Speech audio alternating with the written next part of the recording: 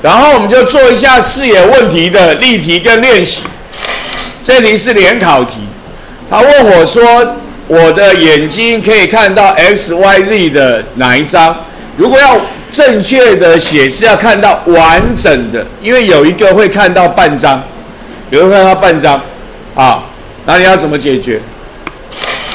这个题目的格子都画好了，所以你很容易画成像在哪里，OK？然后你就，你当然可以用第一招啊。画成像连直线，然后看有没有通过镜。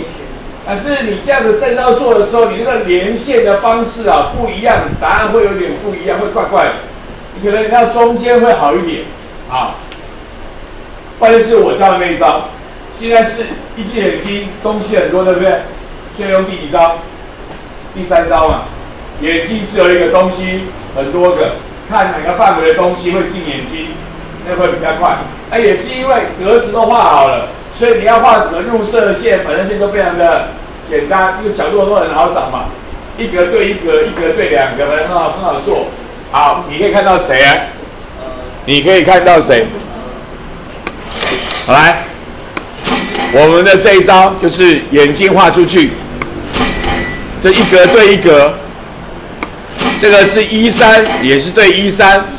那所以谁完全都在我的范围内？Z，Y 只有什么？一半。所以呢，我们答案就选 C。所以我们答案就选 C。OK，好，这就是做法。好了，下一题。下一题的说法是说有四个镜子，你不要管它四个镜子，你就当它是一整片镜子都可以，就当它一整片都是镜子。然后只是是那个范围要在 A、B、C 这个范围内而已。然后呢，有个甲，就从甲跑到乙，你也不要管什么甲跑到乙，就当做甲到乙是一根棍子就对了。然后看哪一个看到看到这根棍子，甲到乙这么长的棍子啊？请问你谁可以看到全部的移动过程？谁可以看到甲到乙这根棍子的全部？啊？我刚刚跟你讲了，你可以把它就当做一整片镜子，不要当做 A、B、C 珠，然后你就一样可以用第一招，连那个画成像，连直线，连一个甲，连一个乙，看它甲跟乙在哪个镜子的范围内就可以了，OK，也可以了。这是一招，是第一招的做法。那你也可以用我教的其他做法做，也试看也可以。好，就是从甲打射打那个反射光啊，什么之类都可以。来，请问你谁可以看到全部？谁会看到全部？谁可以看到全部？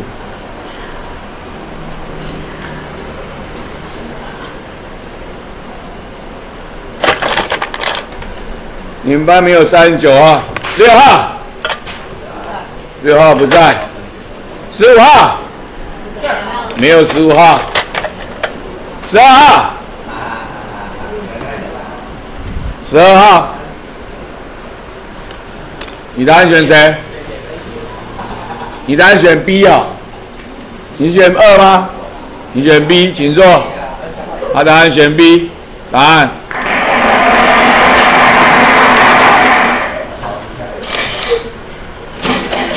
画群像第一招，我叫这个画成像。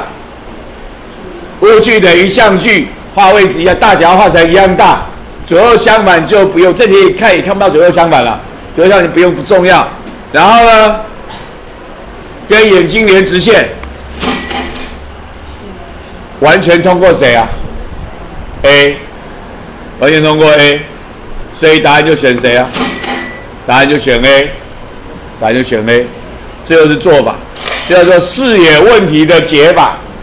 好，刚刚跟你讲过了。现在有人考试，我这里没有给各位练习，你去做一些题会做到这种题目。啊，你写家庭作业怎么会写这种题目？会有一个东西挡住的，大家注意一下，挡住的光就会怎么样？过不去，挡住的光会过不去。啊，没有办法有反射光之类的，要小心一点，要注意一下这个问题。这就是我们视野问题的解法，OK 吗？OK，很好。